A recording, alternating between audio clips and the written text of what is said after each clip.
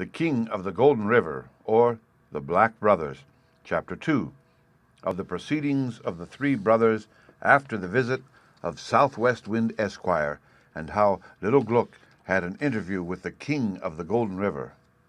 Written by John Ruskin. Southwest Wind Esquire was as good as his word. After the momentous visit above related, he entered the Treasure Valley no more. And what was worse, he had so much influence with his relations, the West Winds in general, and used it so effectually that they all adopted a similar line of conduct. So no rain fell in the valley from one year's end to another, though everything remained green and flourishing in the plains below. The inheritance of the three brothers was a desert. What had once been the richest soil in the kingdom became a shifting heap of red sand, and the brothers, unable longer to contend with the adverse skies, abandoned their valueless patrimony in despair to seek some means of gaining a livelihood among the cities and people of the plains. All their money was gone, and they had nothing left but some curious old fashioned pieces of gold plate, the last remnants of their ill gotten wealth. Suppose we turn goldsmiths, said Schwartz to Hans as they entered the large city. It is a good knave's trade. We can put a great deal of copper into the gold without anyone's finding it out. The thought was agreed to be a very good one. They hired a furnace and turned goldsmiths. But two slight circumstances affected their trade. The first, that people did not approve of the coppered gold. The second, that the two elder brothers, whenever they had sold anything, used to leave little Gluck to mind the furnace, and go and drink out the money in the alehouse next door.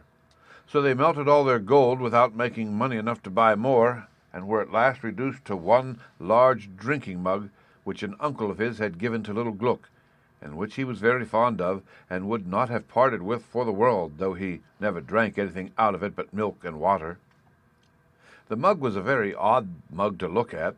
The handle was formed of two wreaths of flowing golden hair, so finely spun that it looked more like silk than metal, and these wreaths descended into and mixed with a beard and whiskers of the same exquisite workmanship, which surrounded and decorated a very fierce little face of the reddest gold imaginable, right in the front of the mug, with a pair of eyes in it which seemed to command its whole circumference. It was impossible to drink out of the mug without being subjected to an intense gaze out of the side of these eyes, and Schwartz positively averred that once, after emptying it full of Rhenish seventeen times, he had seen them wink. When it came to the mug's turn to be made into spoons, it half broke poor little Gluck's heart. But the brothers only laughed at him, tossed the mug into the melting pot, and staggered out to the alehouse, leaving him, as usual, to pour the gold into bars when it was all ready. When they were gone, Gluck took a farewell look at his old friend in the melting pot. The flowing hair was all gone, nothing remained but the red nose and the sparkling eyes, which looked more malicious than ever. And no wonder, thought Gluck, after being treated in that way. He sauntered disconsolately to the window and sat himself down to catch the fresh evening air and escape the hot breath of the furnace. Now this window commanded a direct view of the range of mountains which, as I told before, overhung the Treasure Valley, and more especially of the peak from which fell the Golden River. It was just at the close of day, and when Gluck sat down at the window, he saw the rocks of the mountain tops all crimson and purple with the sunset, and there were bright tongues of fiery cloud burning and quivering about them, and the river, brighter than all, fell in a waving column of pure gold from precipice to precipice, with the double arch of a broad purple rainbow stretched across it flushing and fading alternately in the wreaths of spray. Ah, said Gluck aloud, after he had looked at it for a while, if that river were really all gold, what a nice thing it would be. No, it wouldn't, Gluck, said a clear, metallic voice close at his ear. Bless me, what's that? exclaimed Gluck, jumping up. There was nobody there. He looked round the room and under the table and a great many times behind him, but there was certainly nobody there, and he sat down again at the window. This time he didn't speak, but he couldn't help thinking again that it would be very convenient if the river were really all gold.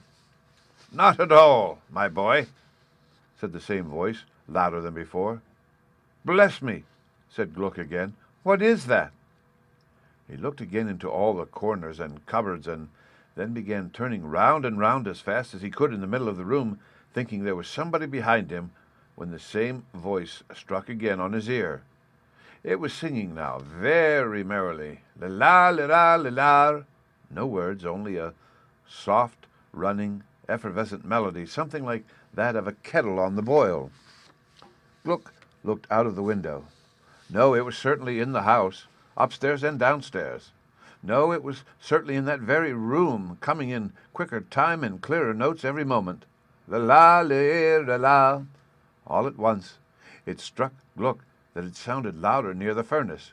He ran to the opening and looked in. Yes, he saw right. It seemed to be coming not only out of the furnace, but out of the pot.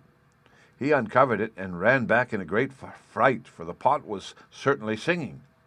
He stood in the farthest corner of the room with his hands up and his mouth open for a minute or two when the singing stopped, and the voice became clear and pronunciative.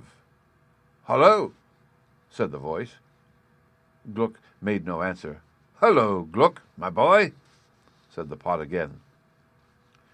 Gluck summoned all his energies, walked straight up to the crucible, drew it out of the furnace, and looked in. The gold was all melted, and its surface as smooth and polished as a river, but instead of reflecting little Gluck's head as he looked in, he saw meeting his glance from beneath the gold, the red nose, and sharp eyes of his old friend of the mug, a thousand times redder and sharper than ever he had seen them in his life. Come, Gluck, my boy, said the voice out of the pot again. I'm all right. Pour me out. But Gluck was too much astonished to do anything of the kind. Pour me out, I said, said the voice rather gruffly. Still, Gluck couldn't move. Will you pour me out? said the voice passionately. I'm too hot. By a violent effort, Gluck recovered the use of his limbs, took hold of the crucible, and sloped it so as to pour out the gold but instead of a liquid stream there came out first a pair of pretty little yellow legs, then some coat tails, then a pair of arms stuck akimbo, and finally the well-known head of his friend the mug, all which articles, uniting as they rolled out, stood up energetically on the floor in the shape of a little golden dwarf about a foot and a half high. That's right, said the dwarf, stretching out first his legs and then his arms, and then shaking his head up and down and as far round as it would go, for five minutes without stopping, apparently with the view of ascertaining if he were quite correctly put together, while Gluck stood contemplating him in speechless amazement. He was dressed in a stashed doublet of spun gold, so fine in its texture that the prismatic colors gleamed over it as if on a surface of mother of pearl, and over this brilliant doublet his hair and beard fell fully halfway to the ground in waving curls so exquisitely delicate that Gluck could hardly tell where they ended. They seemed to melt into air. The features of the face, however, were by no means finished with the same delicacy. They were rather coarse and slightly inclining to coppery in complexion, and indicative in expression of a very pertinacious and intractable disposition in their small proprietor. When the dwarf had finished his self-examination, he turned his small eyes full on Gluck and stared at him deliberately for a minute or two. No, it wouldn't, Gluck, my boy, said the little man. This was certainly rather an abrupt and unconnected mode of commencing conversation. It might indeed be supposed to refer to the course of Gluck's thoughts, which had first produced the dwarf's observations out of the pot. But whatever it referred to, Gluck had no inclination to dispute the dictum. Wouldn't it, sir? said Gluck very mildly and submissively indeed. No, said the dwarf conclusively. No, it wouldn't. And with that, the dwarf pulled his cap hard over his brows and took two turns of three foot long up and down the room, lifting his legs up very high and setting them down very hard. This pause gave time for Gluck to collect his thoughts a little, and, seeing no great reason to view his diminutive visitor with dread, and feeling his curiosity overcome his amazement, he ventured on a question of peculiar delicacy. Pray, sir, said Gluck, rather hesitatingly, were you my mug? On which the little man turned sharp round, walked straight up to Gluck, and drew himself up to his full height. I, said the little man, am the king of the Golden River. Whereupon he turned about again and took two more turns, some six feet long, in order to allow time for the consternation which this announcement produced in his uh, auditor to evaporate, after which he again walked up to Gluck and stood still as if expecting some comment on his communication. Gluck determined to say something at all events. I hope your majesty is very well, said Gluck. Listen, said the little man, deigning no reply to this polite inquiry. I am the king of what you mortals call the Golden River. The shape you saw me in was owing to the malice of a stronger king, from whose enchantments you have this instant freed me. What I have seen of you and your conduct to your wicked brothers renders me willing to serve you. Therefore attend to what I tell you. Whoever shall climb to the top of that mountain from which you see the golden river issue, and shall cast into the stream at its source three drops of holy water, for him and for him only the river shall turn to gold. But no one failing in his first, can succeed in a second attempt, and if anyone shall cast unholy water into the river, it will overwhelm him, and he will become a black stone. So saying, the king of the Golden River turned away and deliberately walked into the center of the hottest flame of the furnace. His figure became red, white, transparent, dazzling, a blaze of intense light, rose, trembled, and disappeared. The king of the Golden River had evaporated. Oh, cried poor Gluck, running to look up the chimney after him. Oh, dear, dear, dear me, my mug, my mug, my mug. The end.